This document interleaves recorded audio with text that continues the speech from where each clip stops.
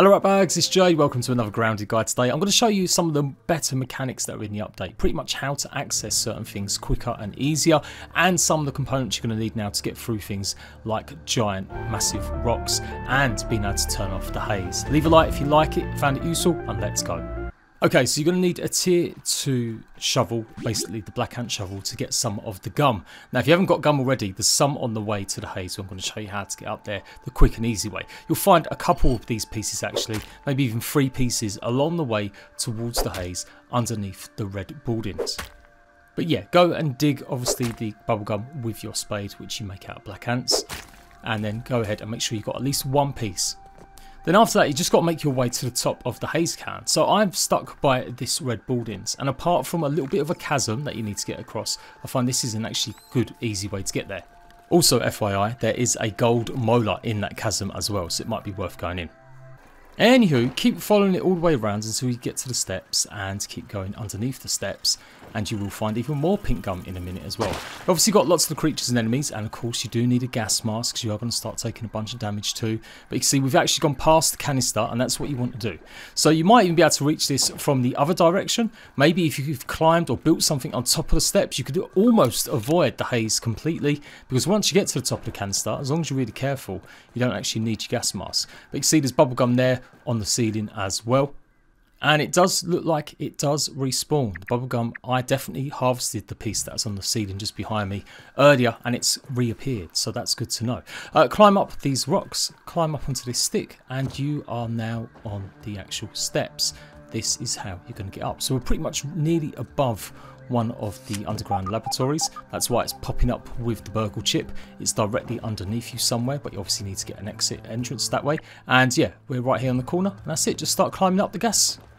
I'm saying this because not everyone has realised you can actually get up on top of here. Some people may be new to the game, but obviously old pros, you know what to do. Just keep climbing up, don't fall down, job done.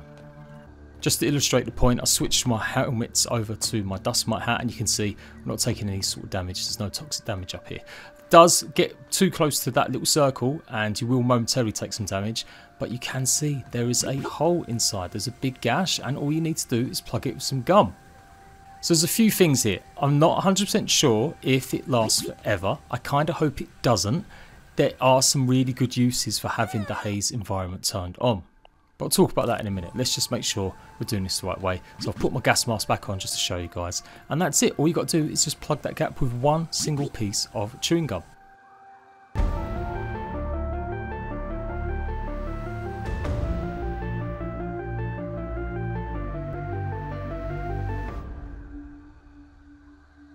It seems like it's a pretty major point, so I don't necessarily think it's going to suddenly peel off, or maybe it will stay like that forever. But like I said, I kind of feel, because it's so cheap to actually do, I would like them to actually only last maybe a day. That way you get to explore the haze environment and then it's still a bit of a challenge at other times. Otherwise it might become just a bit too easy. That said, I can understand why they might have turned it off because there's so many more creatures in the haze environment now that do a lot more deadly damage. It might be just a bit OP, never being able to wear your full tier armor suits to go and face some of them creatures because you always have to wear your mask. So that's why I think they have actually put that there so you can turn it on. But like I said, I still like the option to turn it on or turn it off. Maybe you can actually peel it off or maybe it will just come off after a day. But why, Jade? Why don't you want to make the game easy? Well, just look how many dead bugs you can find if you're roaming around the haze environment. Like, sure, there still will be there after you've turned it off, but I don't think they'll die anymore. They'll be able to travel around freely. This is a great and easy way to get so much of the early bugs early on. If you're not great at combat, which I'm not, you can run around and just be taking all of these bodies to get more bug parts to create more of the armor pieces and stuff that you want. Obviously, it does make things a lot easier to see what's going on around you, and there are still obviously lots of dangers. The growths will still carry on growing, although there seems to be a visual bug. Some of them weren't actually showing, but they were still exploding around me. But yeah, it makes it life a lot easier trying to find things like these molars. So let me know, do you want to be able to turn the haze on or off? Maybe it's a suggestion we can leave the devs. Next up, just a heads up, some places now require a lot of bombs to get through. Now you can use any type of bomb, I do believe. I don't think it has to be just the Splatburst, but they are obviously the easiest to use and rebound and bounce. So things like these doorways, there's a few of them now that you need to remove. I need help understanding how to open this door. I'm guessing it might be just story led. There are other ways into this laboratory now, so maybe that's the point that you're meant to go the other ways rather than just through the main door. And I've shown some of these off in another video, but just to reiterate, some places now will only open, like the ant lions or the tunnels underneath them, when you've killed them and then you've gone and harvested their body parts. So if you was wondering why or how to get underneath and get some other resources you might have seen in other videos, then yeah, obviously it should have been explained that you kill the ant lions and it opens up these tunnels where there's loads of stuff like salt, mint chips and some of the spicy cha-chas. You'll need that tier 2 shovel now to dig up buried treasure as well as mints and the cha-chas in the sandbox. You find a variety of these all over and yeah, you can usually find them by a little bit of a glint of golden glare. Also top tip, you can also see them in photo mode at the moment. Maybe it's just a glitch, but you can see there's a faint little golden glow just in the sand, just to the right of where the modifiers are.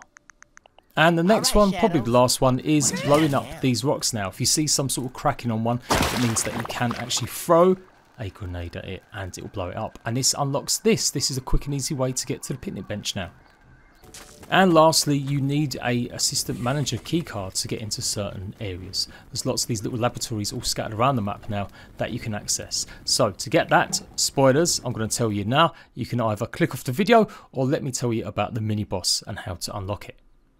Basically, I've done a guide for this, so you can go check it out. It's a walkthrough where I show all the steps as I go through, just as a showcase, some of the stuff you're going to encounter. But there's a new mini boss, and he's called the Assistant Manager, and he's pretty much in the Black Ant Hill, which is near the trash. So you've got to go through all that systems, unlock stuff before finally opening this up, and the boss is going to spawn in once you go and press the button here and mash the keys. He's literally just a more souped up, bigger version of the Arc R. It does get quite intense. The, some of these pillars will start shooting lightning and bolts, and then you've got these yellow beams that do lots of damage. I'm obviously in creative mode here, just showing you guys this. And like I said, I've shown a whole video how to get to these steps. But once he's defeated, you will gain the Assistant Manager keycards, and that means you could go ahead and start unlocking all them smaller laboratories. Now, I haven't found them all yet, but I've got a feeling there's a couple more, not just the one in the sandbox that I showed you guys. So a lot of this is maybe a bit more later game. You are going to need the black ant shovels and stuff like that to craft and make and get access to certain things. So yeah, I just still feel it was a bit of a worthy of a heads up if you're wondering how to get through some of these places. It's not exactly signposted that well. I'm really loving the new mechanics of this though. This elevates this game beyond just the sandbox. This really adds a little bit more puzzle elements to it. And we've always had that in some of the dungeons they've built, like the underwater laboratory and switching the right switches and stuff. But I just love the interaction that you can actually make sand pits fall apart, that you can topple over a big huge shovel to get up to somewhere. So I hope they keep adding more stuff like that. I think that's one of the best parts of this update. If you have any trouble with anything else, let me know in the comment section and go and check out the rest of my grounded content. And I'll see you for more very soon. Bye.